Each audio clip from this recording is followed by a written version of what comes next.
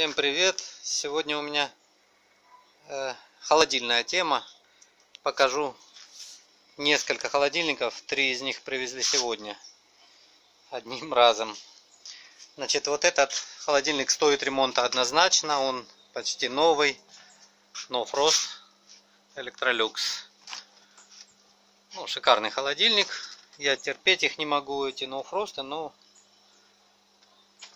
ну, хороший. Значит, э, попробовал компрессор. Компрессор выбивает.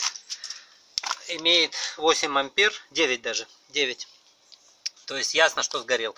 Причина стал искать. Вот здесь коробка. Вытащил вот эту плату. Здесь можно заметить следы. Вот где два диода. Вот не настраивается. Следы. То, что подгорело. Я этим не занимаюсь платы я не ремонтирую. Э, дам клиенту, если он имеет возможность. Или нет, купим другую новую. Значит, компрессор почти всегда сгорает по какой-то причине. Причина вот эта плата. Это вот это дерьмо э, лучше, когда ноуфросты с механикой идут. Там специальные часики и термостат. Я, в принципе, могу переделать на механику. Если будет сильно дорого эта плата, так и сделаем. Ладно, пошли дальше. С этим все ясно. Можно отремонтировать. Дальше. Вот мне привезли. Здесь называется Эксибидора. Это витрина. Значит, тут э, он не холодит. Я не стал э, мудрить. Не холодит? Не холодит. Компрессор заводится, работает. Я еще не проверил, какое давление он делает. Э, годный ли он. Ну, однозначно здесь утечка. Значит, я должен припаять сюда клапан и попробовать э, в течение 10-15 секунд, чтобы он набрал определенное давление. Э, он, он помытый, подготовленный. В общем, если сгорел, поменяем. Утечку здесь найти всегда можно. Такой, такая камера всегда имеет возможность отремонтироваться, потому что здесь все, все можно вытащить. Все из меди. Отлично. Если здесь утечка, запаяю. Если здесь утечка, запаяю. На трубках не проблема. Компрессор заменить не проблема. То есть это всегда можно отремонтировать.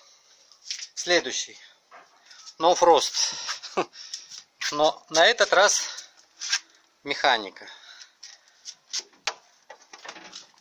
Уже, как говорят, минус маль. Не так плохо. Значит, я его включил. Ну, судя, судя по виду, сразу можно сказать, что сгорел компрессор. Он перегревался тут до такой степени, что вот все в саже. Я еще не проверил, э, есть ли тут газ, какая причина того, того, что он сгорел. Но компрессор покупать в любом случае. Отремонтировать, ну, фрост всегда тоже можно, потому что э, испаритель можно вытащить. Все трубки ну, кроме обогрева контура, но обогрев контура всегда можно заглушить, если утечка там. У старых холодильников это встречается часто. Ну, все это я проверю. В общем, компрессор такой же, как и на том. Покупаем сразу два. Ага, а вот здесь вот предохранитель. Молодцы, умные. Жучок поставили. Это был первый звоночек. И после этого он сгорел. Ладно. Значит, этот Frost можно отремонтировать. Но компрессор у нас стоит китайский 6 с половиной тысяч и оригинальный бразильский Имбрако э, стоит 9 э, тысяч примерно. Недешево. В песо. Стандарт электрик. Это обычный холодильник.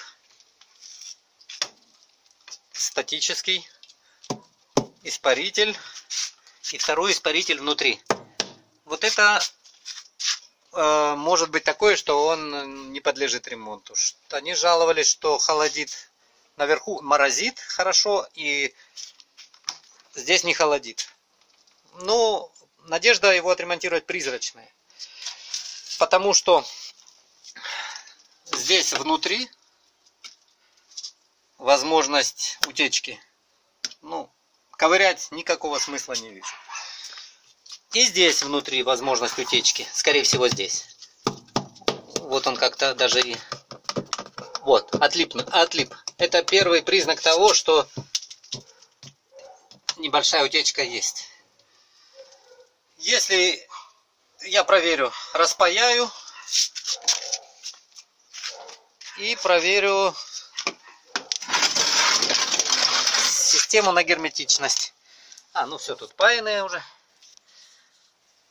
Контур не заглушен, но есть надежда на него. Если он, то будет толк. Компрессор работает. Ну, вот такая вот у меня сейчас загруженность. Но ну, холодильники не лучшее, что для дохода. Лучше кондиционеры. Но это привезли знакомые, хорошие мои клиенты. Поэтому я не отказался. Но сейчас, чтобы заработать больше денег, лучше заниматься кондиционерами. Ну вот так, такая у меня рутина.